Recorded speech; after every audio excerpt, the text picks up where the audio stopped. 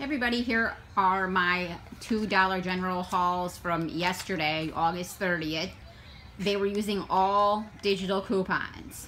So the first transactions right here, I did a Gain Fling, which is $3.95, um, a box of dryer sheets, $3.95, Mr. Clean, $3, two dish soaps for $2 each, um, a bounty for 5.50 and then two Febrezes for $3 each. Now your total will be $26.40. Um, and then the digitals will take off $20.50 and that's including the 5 off a of 25 coupon. So your total for everything here is $5.90 plus tax and that's using digitals. I think that's great. And here's my receipt.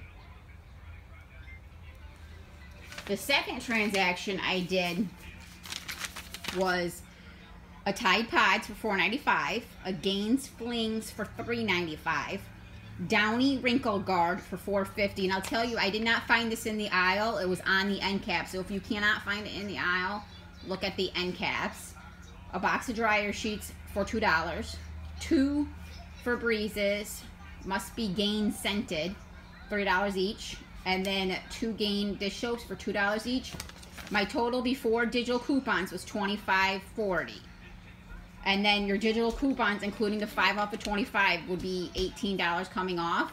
So your total will be $7.40 plus tax. There's my receipt right there. So those are my two hauls for yesterday at Dollar General.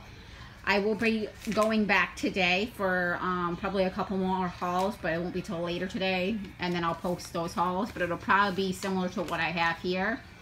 So if you could comment, like, subscribe, or if you have any questions, comment below. Um, and have a great day.